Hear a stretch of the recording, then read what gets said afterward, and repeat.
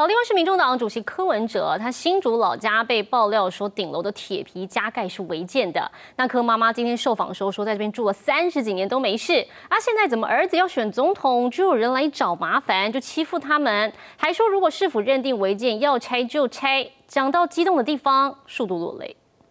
啊，我三十几年都无人来甲我讲啊，啊，我两个吼安安分守己。